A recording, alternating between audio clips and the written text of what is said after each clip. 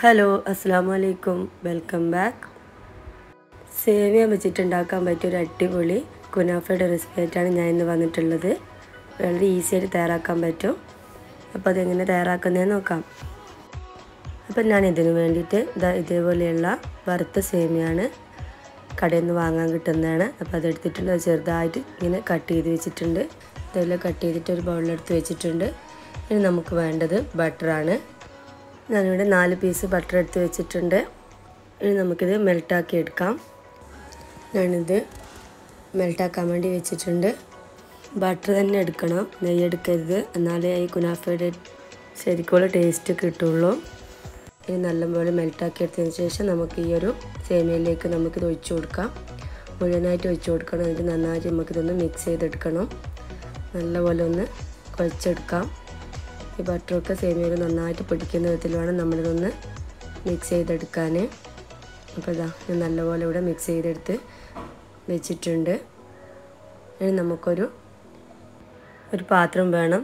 ഞാനതിന് വേണ്ടി ഇവിടെ കേക്ക് ഉണ്ടാക്കുന്ന ഒരു ട്രേ ആണ് എടുത്തിട്ടുള്ളത്. നിങ്ങൾക്ക് വേണമെങ്കിൽ സ്റ്റീലിന്റെ പാത്രം ബൗൾ ഏതാണെന്ന് വെച്ചാൽ നിങ്ങൾക്ക് എടുക്കാം. ഇനി ഇതിലേക്ക് നമുക്ക് കുറച്ച് നെയ് സ്പ്രെഡ് ചെയ്ത് കൊടുക്കാം. അതിനുശേഷം നമുക്കിതിന്റെ ഈ ഒരു സേമിയന്റെ നേരെ പകുതി ഭാഗം നമുക്കിതിലേക്ക് നിറച്ച് കൊടുക്കാം. നന്നായിട്ട് നമുക്കിതൊന്ന് കൈവച്ച് നമുക്ക് നല്ലപോലെ ഒന്ന് പ്രസ് ചെയ്ത് കൊടുക്കാം. നന്നായിട്ട് ഇനി സ്പാച്ചിൽ വെച്ചിട്ട് കൂടി നമുക്ക് നല്ലപോലെ ഒന്ന് പ്രസ് ചെയ്ത് കൊടുക്കാം.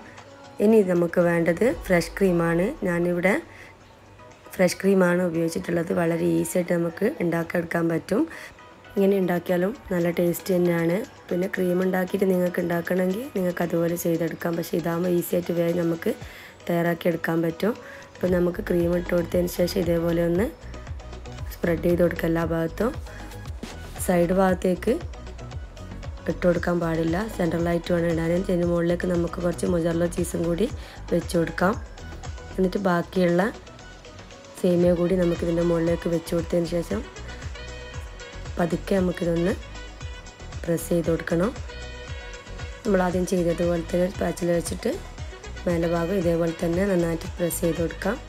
എന്നിട്ടൊരു താവ അടുപ്പിൽ വെച്ച് ചൂടാക്കാം. ഇനി ഇതിന്റെ മുകളിലേക്ക് നമുക്ക് ഈ ഒരു ട്രേ എടുത്ത് വെച്ച് കൊടുക്കാം. എന്നിട്ടൊരു ഇരുപത് മിനിറ്റ് ലോ ഫ്ലെയിമിലിട്ട് നമുക്കിതൊന്ന് കുക്ക് ചെയ്തെടുക്കാം. ഇരുപത് മിനിറ്റിന് ശേഷം തുറന്നു നോക്കിയിട്ടുണ്ട്. ഒരു ഭാഗം നന്നായിട്ട് കുക്കായിട്ടുണ്ട് ഇനി മറുഭാഗം നമുക്ക് കുക്കാക്കാൻ വേണ്ടി ഒരു പാനിൽ എണ്ണ തടവി അതിലേക്ക് നമുക്ക് വെച്ച് കൊടുക്കാം. ഒരു രണ്ട് മിനിറ്റ് മാത്രമേ സമയം കൊണ്ട് നമുക്ക് അപ്പോഴത്തേക്കും നമ്മുടെ ഗുനാഫ റെഡി ആയിട്ടുണ്ട്.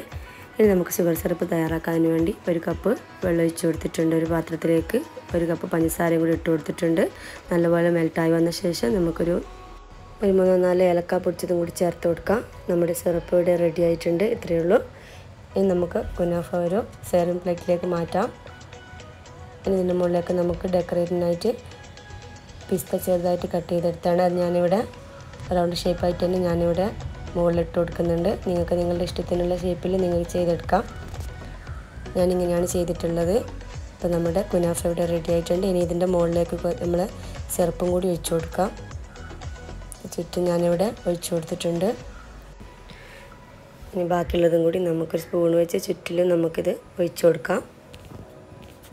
നമ്മുടെ അടിപൊളി ടേസ്റ്റ് ആയിട്ടുള്ള കുനാഫ ഇവിടെ റെഡി ആയിട്ടുണ്ട്. വളരെ ടേസ്റ്റാണ് വളരെ ഈസി ആയിട്ട് ഉണ്ടാക്കാൻ പറ്റിയതാണ്. അപ്പോൾ എല്ലാവരും ഒന്ന് ട്രൈ ചെയ്ത് നോക്കണം. ഇതൊന്ന് കട്ട് ചെയ്ത് കാണിച്ചു തരാം. അപ്പോൾ വളരെ ഈസി ആയിട്ട് തന്നെ നമുക്ക് ഉണ്ടാക്കാൻ പറ്റിയതാണ്. ക്രീമൊന്നും നമ്മൾ ഉണ്ടാക്കിയിട്ട് നമുക്ക് ടൈം കളയാതെ നമുക്ക് പെട്ടെന്ന് തന്നെ തയ്യാറാക്കാൻ പറ്റിയതാണ്. അപ്പോൾ എല്ലാവരും ട്രൈ ചെയ്ത് നോക്കുക. എന്റെ ഈ വീഡിയോ ഇഷ്ടപ്പെട്ടാൽ ലൈക്ക് ചെയ്യാനും ഷെയർ ചെയ്യാനും കമന്റ് ചെയ്യാനും. സബ്സ്ക്രൈബ് ചെയ്യാത്തവരുണ്ടെങ്കിൽ സബ്സ്ക്രൈബ് ചെയ്യാനും മറന്നാലേ. അപ്പം ഇൻഷാല്ല നെക്സ്റ്റ് നല്ല വീഡിയോസ് ആയിട്ട് വരാം. Thank for watching